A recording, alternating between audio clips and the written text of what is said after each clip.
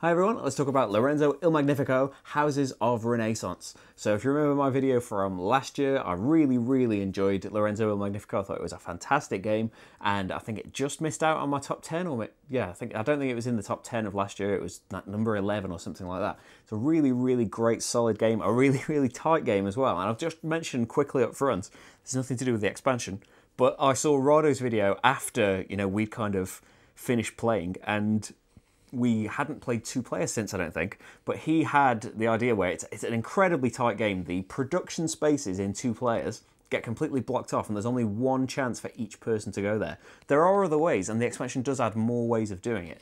But Rahdo uh, had just kind of taken those off and said, "Well, I'd, I'd, it makes the game a little bit, uh, well, not easier, a little bit less uh, less restrictive." But you know, the punishment of getting three pips knocked off your thing is very, very punishing anyway. But anyway, just thought I'd mention that. We really, really liked that change to it. Uh, I, I liked the game as it was, but yeah, it was one of those where it's like, this is incredibly tight, and there's such panic is setting where I might not get to do this at all. Like, it's okay if I don't get to activate all of them or I need to spend a load of works or something, but I might not get to activate them at all if I don't do this. Anyway, that's just as an aside. The expansion, really, really like it. I really like well, anytime you, it's it's in some games from the start, but anytime you start the game with you know individual powers now, and we kind of get a choice over what we get as well. It's all laid out there. In in two players, you know, it's it's you're going to be one or the other, and uh, yeah, so the the auction is absolutely not going to be as interesting in a two player game when you when you make it three, four, five players. Any kind of auction gets more interesting. It's not really an auction, is it? It's it's kind of how how few resources are you willing to start the game with to be this uh, to have this special power? And it's a really really nice system. And you know it will change based on what is underneath that person. You know maybe their power really wants faith points and the starting resources are really going to offer a load of faith points. Well that's perfect isn't it there's going to be a lot of uh, competition for that. But then on the other hand, by competing and outbidding each other, you, suddenly you're not getting all those faith points. So was it worth going for that power altogether? I really like the system, but as I say, it will. It's it's going to be the least effective with two players just going between each other because make like it could just be well. I want the most starting resources. Okay, well, I, I, I don't mind being this power. I'll have the most starting resources as well, and we'll just go that way. And it's not really an auction. But yeah, that's just a two-player thing. The Secret Tower, not the secret tower, the special tower. I really like that. It's got a lot of surprises in it, a lot of different things that you won't see every game as well. That's it's not really a criticism. Uh, Lorenzo Il Magnifico, I think there were promo cards that I didn't get last year, but if you've just got the base game, the cards for the four towers, there are only enough for the game. So they're going to come out in a different order, and that is going to change things up, and they're going to be at different heights of the tower and be, you know, easier or harder to get but they will be the same cards all of the time. That's not true of the special cards. You just pick eight out of quite a lot for each era, and you don't really know what colours are going to come out in the tower as well. And so that's going to affect the game a lot.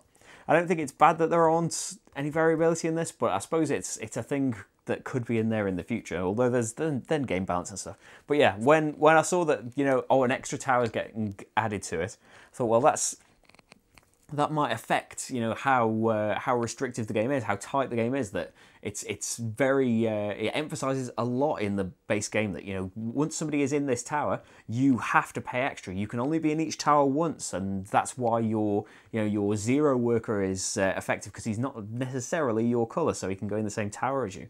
So adding another tower would surely you know open it up even more. But that's where this overlay comes in, and it's a really really nice touch that you can see where it's kind of moving across the game. It's moving across the board every round and you know that, oh, next round, yellow cards are going to be really difficult to get. So even if something comes out that I desperately want, maybe I should just take that, this one now so I can start generating stuff because I'm probably not taking a yellow card next round. And you can see how it's going to cycle, you know, in two rounds it's going to be on this tower and that tower. It really, you know, it, it tightens the game right back up again. And it's got uh, a function for five players as well. That's that's kind of a plus for, for me. I, I don't think I'd ever play it five players. I've played it four players once and it was it was very good still. It's still very enjoyable, but I tend to, you know, two players is so fast.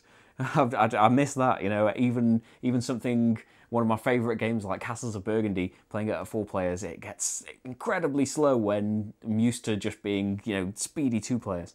Anyway, yes, but you've got that option now though, and you can play pink. Rach wanted to play pink, so she's got that option now. Tons of new leader cards that, yeah, weren't that much of a factor in that they were they were part of it and they were nice and stuff and they were maybe more situational than others, but now that they give things like actions or their their requirements are different, they want you to get special tokens or they want you to get uh, one had points in the military but have no points in the faith track. They have more interesting requirements than just get this uh, get get this set of cards out or do this. It's got more interesting interactions and the fact that they can give you special actions that only you have access to that's a really nice touch as well. So yeah altogether yeah it's it's it's still a very tight game. If, if, if the thing that was holding you back was that you could only play it with four, then obviously this is going to sort it out for you. Other than that, I think it's going to be the standard situation of if you liked Lorenzo Il Magnifico and you are interested in more, this provides a lot more. The the special uh, the special tower does provide some very very interesting cards that just go on your board and mesh with all of the other ones. The special powers that you get are really cool, and the way that you get them will be really interesting. I imagine with more players. But yeah, it's it's not gonna unless you had certain issues that now you, that you couldn't play as pink, then it's gonna solve them for you. But otherwise, yeah, it's if you liked the game and you wanted more, perfect. If you didn't like the game to begin with, I don't think this is going to change, you know, core issues with the gameplay. But for me, I really, really enjoyed Lorenzo Magnifico, and I am just pleased to have it out, have it played again. It's another one of those games where I haven't really played it. I've maybe played it a couple of times after the playthrough, and haven't played it since then. That's that's that's about a year ago. So as with Aeon's End, I get I get to get it out again and enjoy it, and yeah, still really really uh, happy about Lorenzo El Magnifico. So that's it, I think. Thanks for watching, everyone, and I'll see you for the next game. Bye.